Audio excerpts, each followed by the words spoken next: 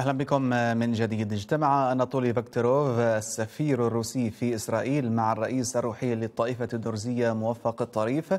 وبحث معه عدة ملفات منها السماح بتقديم المساعدات من فلسطين المحتلة إلى سوريا بشكل مباشر بوساطة روسية.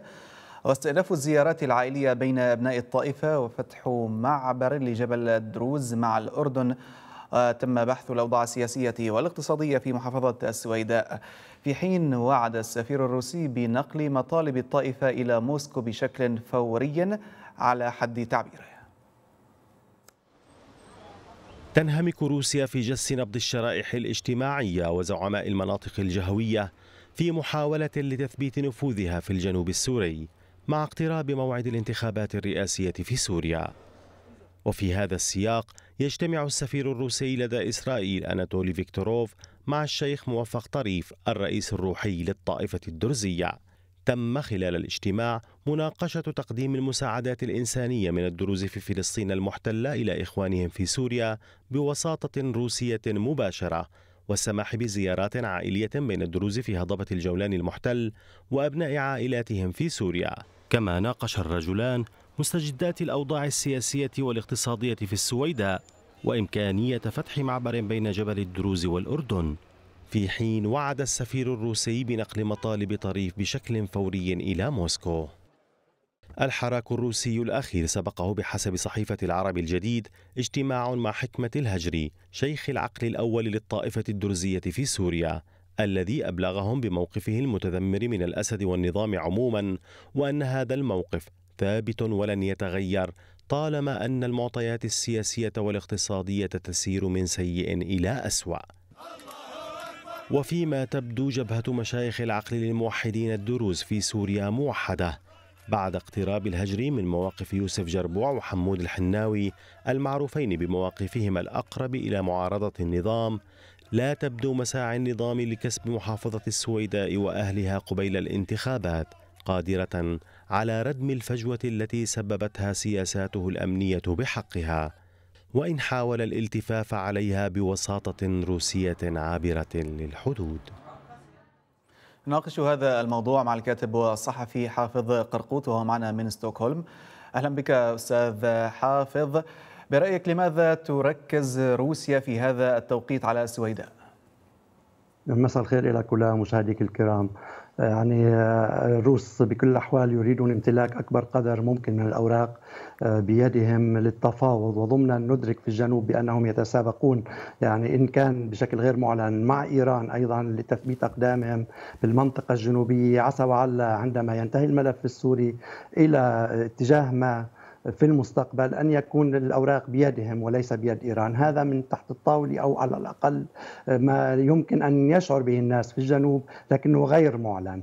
بجميع الأحوال الآن تحركات الروس بهذه الفترة هي نتيجة متراكمة أيضا لفشلهم السابق. آه، لقد داروا كل حالة التفاوض إلى مصالحات مع نظام الأسد منذ أن دخلوا إلى سوريا وكل مناطق المصالحات يدرك كل من يتابع الملف السوري بما فيه الشيخ طريف في فلسطين المحتلة بأن كل تجارب الروس كانت فاشلة بكل المناطق التي آه، ذهبوا إلى ما يسمى بمصالحات سابقا. وأقل ما يمكن نستطيع أن نقول في جوار الجولان الذي يتكلم عنه الشيخ طريف بموضوع القنيطرة ودرعا كل المصالحات التي تمت. حتى هذه اللحظة معطياتها سيئة على الناس. على المتابعين على أيضا حتى نظام الأسد. بحد ذاته. أعتقد بأن الروس آه، يعني رغم كل الوعود وهذه ليست أول مرة طبعا يلتقي بها لا مع السفير ولا حتى مع مع المسؤولين الروس فقد التقى مع بوغنادوف على ما أظن والتقى أيضا وأرسل رسائل مباشرة إلى القيادة الروسية سابقا وخاصة عقب الاعتداء الذي تعرض له آه، تعرضت له محافظه السويداء من داعش سابقا وراح عدة ضحايا طبعا شهداء وأيضا مع الأسرى. تدخل عندما تدخل الشيخ موفق طريف وتكلم مع الروس ويدرك أن الروس غير صادقين حتى بوعودهم. يعني بزماناته الأستاذ وليد جملة تعبر عن ذلك مباشرة وحتى صرح بأنه هو يعني الروس لم يكونوا أوفياء لا في علاقاتهم ولا في صداقاتهم. بما معنى من يراقب بأن الروس يحمون العصابات في المنطقة. يعني يحمون عصابة حزب الله مثلا يحمون العصابات التي استخدمتها إيران يمررون الأسلحة لإيران لقتل الشعب السوري. هم ليسوا حلفاء للشعوب. إجمالا حتى مع عصابة آل الأسد وكل ما يتبع لآل الأسد. هم يرعون عصابات لذلك هذه الرسائل على كل من يمثل آه، أو يريد أن يتواصل لأجل مصلحة السوريين أن يدرك ذلك. وأيضا مشكور الشيخ طريف إذا أراد أن يخفف بعض الظلم أو القسوة التي يتعرض لها المجتمع في السويداء. طبعا مع بقية المجتمع آه، المناطق السورية لا شك. لكن ميزة السويداء أيضا هي منطقة مغلقة أو شبه مغلقة وهي أعتقد المحافظة الوحيدة في سوريا الحدودية التي لا تملك معبر حدودي. هي أعتقد المحافظة الوحيدة ولا أي معبر. نعم. لذلك النظام الأسد منذ سبعينات القرن الماضي تحكم بغذائها ودوائها وفرص عملها وتعليمها لأنها لا تملك أي مخرج آخر. بما معنى بأنه إذا كنا من الشرق هنالك البادية والصحراء حتى حدود العراق هذه المنطقة يحتلها بشكل أو بآخر كان يتمشى فيها حزب الله لتهريب المخدرات ويريد أن يسيطر عليها بشكل كلي لتكون معبر آه، سريع للمخدرات بحيث إذا اتجهت نحو آه، الجهة الشرقية من الأردن تصل بسهولة إلى الخليج العربي ويكون أيسر لها وأيضا باتجاه العراق. ضمن هذه البيئة. لكن أيضا كان على الشيخ طريف أن يدرك بأن هذه المنطقة يمكن أن يفاوض عليها مع الأمريكان إذا أراد مصلحتنا أو مصلحة المنطقة الجنوبية في سوريا. فالروس ليسوا أصدقاء ولا يقدموا حتى الآن ولم يقدموا حتى الآن أي نتائج إيجابية أو شيء ملموس يمكن أن نشكرهم عليه. على الأقل هم قدموا القتل الذي واضح للعلن بكل وسائله على الأقل هم يحمون نظام كيميائي. إذا لماذا تستمر اللقاءات أستاذ حافظ بين الشيخ موفق ظريف والروس في الأراضي الفلسطينية المحتلة؟ يعني على أتمنى أن يدرك الشيخ طريف طبعا وهو يدرك تماما بأنه يتكلم مع سلطة احتلال. وهذا الكلام إذا أخذناه بشكله القانوني أنه على سلطة الاحتلال أن تتحمل مسؤوليتها ضمن القانون الدولي تجاه المدنيين. وبالأخص أن الآن نظام الأسد يتحكم بكل مكونات الشعب السوري بما فيها طبعا الدروز في سوريا. يريد أن يجعلهم في صفه كاملين ويريد أن يخرج رسالة إلى العالم بأن بأنه حامي هؤلاء القوم الموجودين في جنوب سوريا من اعتداءات السنة المتطرفين. هذه الرسالة التي يريدها الأسد لكي يلعب بالأوراق السورية بالمجتمع السوري نفسه. استطاعت السويداء عبر المظاهرات خلال السنوات الماضية إفشال هذا المخطط بل وفضحه نعم. عالميا بل وبعض الهتافات التي أطلقها شباب السويداء أصبحت يعني بمتناول كافة الصحف وكافة حتى التظاهرات التي تلت ذلك في بعض المناطق السورية حتى بعد انتخابات أو ترشيح بشار الأسد بما فيها الشعار لا ترشح يا مشرشح بهذا نعم. المكان آه، بالإضافة إلى بعض التعابير الخاصة تعممت. هذا ضايق نظام الأسد. بالأخير الروس يدركون بأن نظام الأسد حتى لو أعطوه السويداء كاملة لن يستطيع أن يحكمها. على نمط تجربتهم في درعا هو لم يستطع بعد كل المصالحات أن يحكم حارة بسيطة في في قرية نائية في في محافظة درعا جارتنا. لذلك يدرك أهل السويداء بأن هذا النموذج سيء. الروس فقط هم مقامرين في السياسة. بما معنى تجربتنا معهم منذ أن كان الاتحاد السوفيتي سابقا يرعى المنظومة الاشتراكية حول العالم كلها عندما كان حلف وارسو له قوة.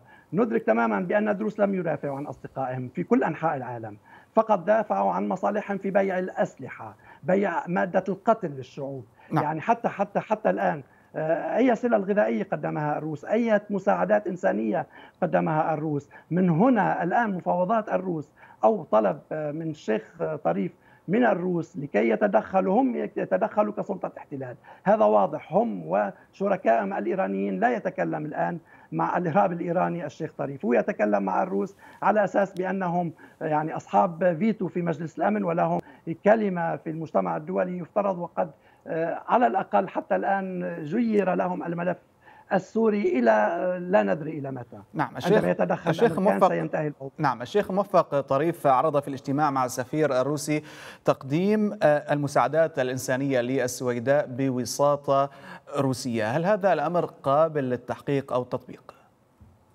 إذا أراد الروس ذلك طبعا قابل للتحقيق لكن الروس آه، أيضا سيتاجرون بذلك. قد ينهبوا جزء كبير من هذه المعونة. هذا الروس أيضا هم لا يختلفوا كثيرا عن نظام الأسد.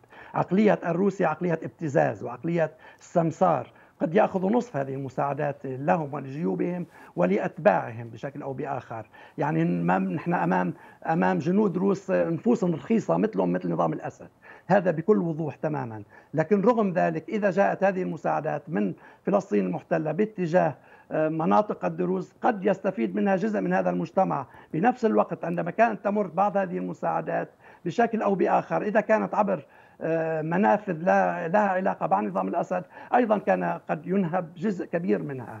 بما معنى حتى تلك المساعدات التي تذهب عبر الهلال الأحمر أو غيره. بالإضافة إلى ذلك أيضا يعني إذا كان هنالك كلام حول معبر حدودي مع الأردن آه، من الجهه الجنوبيه أيضا الروس يستطيعون تسهيل ذلك بما معنى بأن العصابات الممتدة على الشريط الحدودي هي تتبع لحزب الله تتبع لحزب الله لتهريب المخدرات باتجاه الأردن. هذه يمكن للروس ضبطها. لا ندري إن كانوا الروس شركاء في تمرير المخدرات لكي يبتزوا الخليج العربي ويبتزوا الأردن ويبتزوا تلك الدائرة بأنه يعني هن قادرين يضبطوا الوضع بسوريا مقابل جزء من المال. هذا لا ندري. نعم. لا ندري حقيقة ما ماذا يجري في الكواليس. لكن نحن فعلا المجتمع في السويداء يحاصره نظام الأسد من دمشق. لا يوجد معبر للسويداء سوى اتجاه العاصمة. العاصمة هنالك حواجز تعتقل الشباب إما لسوقهم إلى الجندية. يعني كثير شباب من السويداء ما عادوا قادرين يعني يروحوا على جامعاتهم. ما عادوا قادرين يلاقوا فرص عمل. منطقة ما فيها أصلا لا مصانع ومثل ما قلت ما هي معبر حدودي. ما في مواد ممكن الناس تشتغل فيها لا بالتجارة حتى الزراعة أصبحت عبء على الناس لأنه أصلا ما في أمان في عصابات عم تخطف الناس اللي عم تروح حتى تطل على أرضها مش عم تشتغل فيها. لذلك الروس يعني هم يديرون عصابات في سوريا. حتى في السويداء هم ينسقوا مع عصابات الأمن العسكري الذي ينسق مع عصابات داعش هيك بكل وضاحة. بكل وضوح طبعا وبكل طبعا صفاقة الروس يتعاملون بذلك وإذا كان يسمعني أي محلل روسي فهو يستطيع أن يكذبني في ذلك هم يتعاملون مع نعم. كل عصابات السويداء وهم يرعون الخطف والخطف المضاد بين درعا والسويداء عبر عصابات آل الأسد جزء منها يتناوب منها آه، آه، ما يسمى بالفرقة الرابعة وهي أيضا تنظيم إرهابي يتبع لماهر الأسد و بالذات الفرقة الرابعة هي مقسومة قسمين جزء آخر ماهر الأسد يأخذ تعليماته من إيران وينسق مع إيران والجزء الآخر ينسقون مع روس. عمليا بالنسبة لنا هو تبادل أدوار بين عصابات ليس أكثر. لذلك إذا كان الشيخ موفق طريف يريد أن يتكلم مع الروس فليوضح بأن أهل السويداء هم نظام الأسد أضعف هذه المحافظة التي كانت تصدر الكفاءات إلى كافة أنحاء العالم. هذه المحافظة من قبل الثورة السورية بعشرين سنة كانت يعني تحتفل بإنهاء الأمية فيها. هنالك عشرات ألاف الشهادات الجامعية. أراد نظام الأسد إذلال هذه المحافظة وحتى الآن فشل في ذلك بل هي التي أذلته. لكن استطاع على الأقل تقزيم الدور الاجتماعي. كانت هذه المحافظة متماسكة وهنالك حضور وحامل اجتماعي. يمكن أن يحمي الناس لكن نظام الأسد استطاع التلاعب بهذا الحامل الاجتماعي وأخذ ملك العائلة أدم في هذه العائلات العائلات ورفعها إلى مستوى إما وزير شكرا أو جزيلا لك. في مجلس الشعب ولذلك ابتدأ المجتمع السوري. شكرا جزيلا لك الكاتب والصحفي حافظ قرقوط كنت معنا من ستوكهولم. وجزيل الشكر لكم مشاهدين على طيب المتابعة دمتم بألف خير.